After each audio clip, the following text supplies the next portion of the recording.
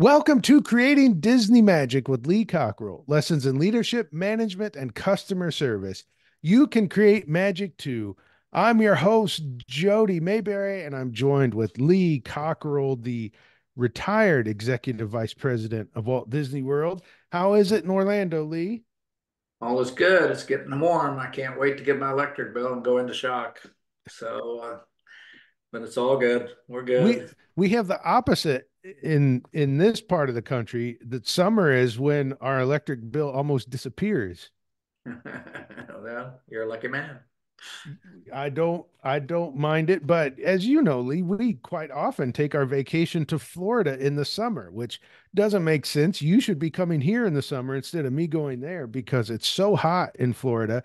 But if you want to take a vacation this summer, call our friends at Magical Vacation Planner. You can reach them at 407 442 2694. Let them know you want to go to, well, really, they can do any of the parks the cruise lines, inclusive vacations. I I heard a rumor they just added a new all-inclusive resort in Dominican Republic. Lee, have you been to the Dominican Republic? I have not, but I know a lot of people have. They really enjoy it down there. It's close by. It's not too far. So yeah, yeah, yeah I've I've been there twice and and enjoyed it both times. It is it's a neat yeah. place. Yeah. Well, this week, Lee, I wanted to talk about something that comes up a lot in the Main Street Leader. If you're not familiar with the Main Street Leader, it is a monthly newsletter that that Lee and I put out. It's got wonderful articles by Lee about leadership, management, culture, customer service, and one of the recurring themes almost every volume there is something about pre-shift meetings. And I'm looking at volume 33 right now and it says pre-shift meetings are the perfect place to remind everyone every day about your expectations and pump up the team to win big when delivering to your customers and team members. Now, there are some elements that Lee says should be included in every pre shift meeting. Perhaps we'll go over those. But what I'm interested in, Lee, is why are pre shift meetings so important that you include them in the Main Street Leader so often?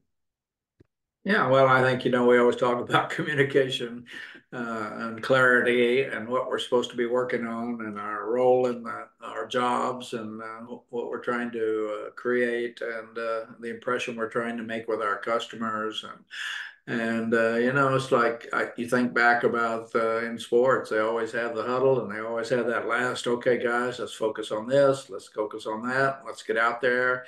and it's that that it's that moment to bring everybody in and uh, say, okay, it's game time.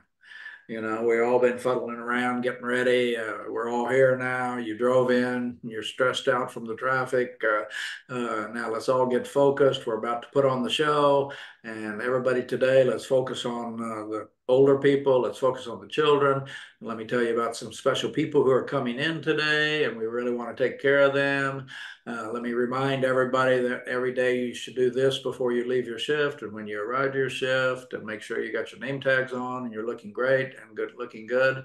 And it's kind of that just five minutes of okay, let's all remember now it's game time, and uh, it just brings everybody together, and you can reinforce you every day you can introduce a different subject so people don't go around saying i don't know what's going on around here which is the number one thing people say about communication. Nobody tells me anything. I don't know how what we're uh, you know this is just it's just so basic and so easy to pull everybody together for a little five minute six minute uh, get let's go out and play the game and here's the strategy and each one of you have an important role in the game and I'll be here and if you need me I'm the manager which means I'm the coach and if you need something resources you need anything you got a cut problem with a customer or each other just come and see me I'll get involved and we'll we'll uh, we'll win this game. And uh, you know uh, it's just so easy it costs you nothing and it's a great education, just five minutes a day, you know, okay, so that's, uh, you know, 25 minutes a week uh, or 26 hours a year. It all adds up. Uh, that you're, it's a way to educate short term and uh, to inspire and to get people fired up to go win. And to remember what they're doing and uh, get off of worrying about the traffic and trouble at home. It's it's game time, and uh, so anybody who does that before you unlock the door and let the guests in, uh, you're going to have a better better uh, better situation. You're going to have happier customers. You're going to have more focused. Uh, employees that are doing what they're supposed to be doing, and you've just reminded them what they're supposed to be doing, and so they can get out of their mind all the negative things they've had going on before they got to work today, and they can let you know what they need, what they're short of, what uh, anything they need to have the right. Uh, they know the plays, and uh, you tell them what to do when this happens, what to do when that happens, and they know the game plan. So it's that it's just kind of that simple to give those analogies because uh, you know, anything we do well, it's nice to have a little pre-plan before we go, you know, uh, uh, have a little conversation about what we're doing, where we're going, what time we get in there. Even if you're going on a trip, the whole family may sit and talk about it for a few minutes. Okay, guys, we're going, we're going to the airport. When we get there, we're going to do this, this, this. Uh, everybody keep an eye on your stuff. And uh, it's a reminder to focus on what's important right now. And then, uh, uh, it's like what was that movie where they people went on vacation and they left their son at home, home alone. Home Alone, yes. they should have had a meeting because next thing you know, they're uh, in an airplane flying and they look around and they forgot their son because they didn't have a pre-plan of a huddle and make sure everybody's there. And we have somebody at Disney, family with seven kids. They all got in the van and drove off and they left their little two or three year old in the parking lot and they didn't realize it until they got to the first stop halfway to Tampa to get coffee or something. and they didn't have them. We had them. Our security had them. We, so I'm going like, you know, you can get distracted and uh, easy to walk away. And so uh, let's all before we drive away do it. Is everybody here? you know, it's a, just a little simple thing, but it's just a it's having a game plan, reminding people what the game plan is, what we're doing here, and we want to win today. That's what you do. Well, I will give you even more insight. So when Lee writes about pre-shift meetings in the Main Street Leader, he lists what pre-shift meetings are for. So I'm going to tell you all those items. This is straight from the Main Street Leader. So this is like uh, an extra bonus on this episode of Creating Disney Magic. So Lee says, "Why do you have pre-shift meetings?" And the, these are the items that he lists. And and quite often he lists these every time to communicate with the team to tell the team what is important to thank the team for their great work to answer any questions to provide knowledge to find out what they need to inspire the team. So every time lee writes about pre-shift meetings he lists those items out. So lee you make it pretty clear that you are repeating these because yeah. you want leaders, managers to know that's what pre-shift meetings are for. So you yeah. you've got to use them the right way. You don't want to to you know drown them with numbers or all that if it's not important. So now that I've read those, Lee, talk a little bit more about those items in pre-shift meetings.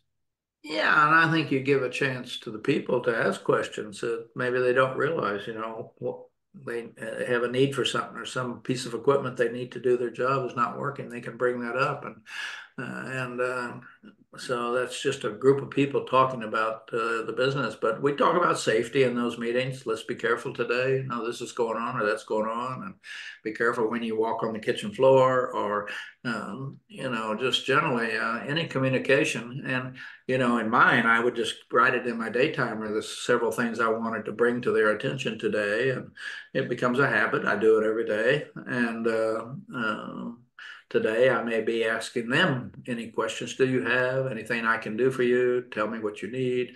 Uh, I want you to feel good. We're we're we're an A team here. We're not the B team. And we're going to go out there and uh, uh, anything you need and want this is the time to ask. And then we'll start the game.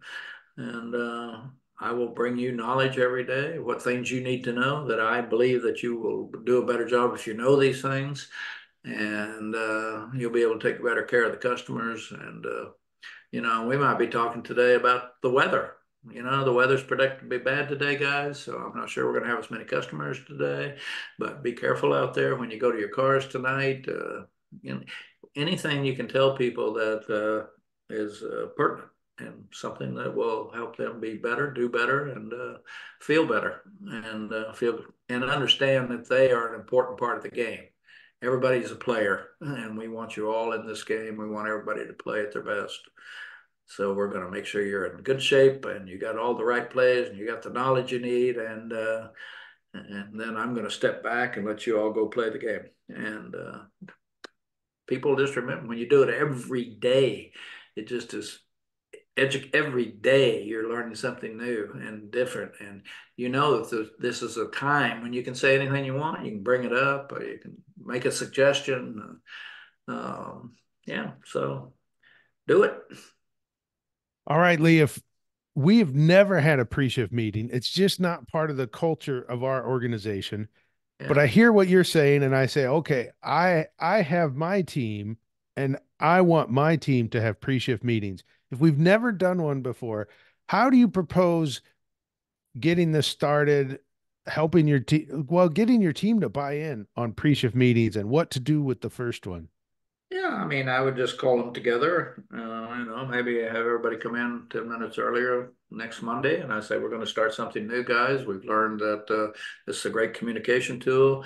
I'm hearing too often that somebody doesn't know what's going on or they have a question and they're, uh, we've gotten complaints about that. And we're also hearing from customers that uh, some of you don't know the answers to their questions. And so we're going to just start a five minute meeting. You're all going to be here anyway. Before I unlock the door, uh, we're going to have this little five minute section to make sure you got everything you need and I've got everything and I've I have communicated everything to you, and uh, you, it's required for you to be there, and uh, so you just start it, and it becomes a new thing. And very almost nobody's going to say, "Oh, I don't think that's a good idea." I mean, because there's nothing bad about it. It doesn't take any time. It takes a few minutes. And you know, some days it may be a three minute meeting, some days it may be an eight minute meeting depends what you got on your mind, what's going on, uh, and what what how many important things you got to tell people. And by the way, uh, they'll do a better job, and they'll be happy they got the answers. There's nothing worse than a customer asking you something you don't know. You say, I don't know, I don't know, I don't know. Well, you will know because we're going to go over the important things every day. Uh, and over time, 365 days a year, we're going to have it. You may not be here every day, but the days you're here, you're going to know more than you would have. And uh, knowledge is the name of the game. That's how you serve people better. That's how you uh, uh, customers are happier. Knowledge is what they want. They when they ask you something, you know the answer. you don't have to say, "I don't know." I have to go look. You should know. It's your job. These are things you should know. That's what we're going to go over. And you got new employees all the time you got people been away on vacation and they're coming back. I mean, there's all kinds of things, uh, shift changes, different changes. Some people don't work together. It's another group on Saturday than it is on Tuesday. Uh, yeah, this is just a, uh, yeah, like your mother might have had when you were 14, you're going out. She had a little pre-shift meeting with you, tell you what to do and be careful and, you know, uh, all those kinds of things. Communication's the name of the game. I don't ever want people to say I work with Lee and I never know what's going on. yeah, that's good. Well, if you want to learn more about pre-shift meetings, the Main Street Leader is a great way to do that. If you go to cockerellacademy.com, you can sign up for the Main Street Leader. It's $10 a month. If you're not sure if it's for you or you want to give it a try, I'm pretty sure there is an option to get the first volume for free on cockerellacademy.com. Just sign up. We'll send you the first one for free. And I want to remind you about the 500th episode celebration coming up. I try to make sure every one of these episodes is timeless, that it doesn't matter when you listen to it, the information is relevant. Well, this is one of the times where the information is timely because the 500th episode celebration is May 6th at 6 p.m. Eastern time. We want you to join us to celebrate. There, we're going to have a lot of fun. There's going to be a lot of giveaways, and you can register at leecockerell.com slash 500. And we really want to see you there and come join us, celebrate with us for the 500th episode. Uh, Lee, did you ever imagine 500 episodes when we started this 10 years ago? I did not. I had no idea. I thought we, I didn't even know what we were doing when we started, and it, it just kind of took on a life of its own. And uh, we got so much great feedback from it. And, you know, I think what did have we exceeded four million downloads, or you know, I mean, yeah. I mean, there's a lot, lot of interest in it, and I've get, received so much feedback over the years. So thanks for that session.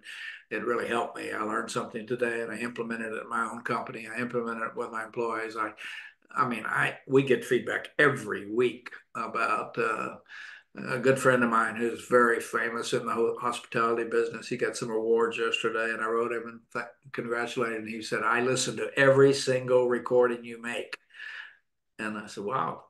That's pretty impressive.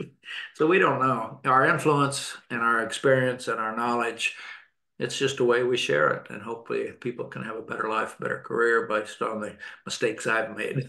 so, well, Lee, I was speaking in Grand Rapids, Michigan, and the MC of the event, we're up at the front table right by the stage. And and she said, I just figured out who you are. And I and I said, Oh, who who am I? And she said, You you're the host of Creating Disney Magic with Lee Cockerell. I don't miss an episode. Oh man. Yep. I had one at the, when I was at my coffee place. A lady turned around and said, Are you Lee Cockroach? She said, I heard you talking to this person. I recognized your voice. I was going, Good grief. yeah. yeah. that's good. We've we've had that's that. Really. It yeah. is. It's really fun. We've had that before where Lee and I have been sitting at Coffee for the Soul and someone recognized us by voice, not by sight. So always interesting. Well, if you again, leecockerell.com slash 500, join us for the big celebration on May 6th. We, we'd love to see you there. Until next week, go out and create magic for others.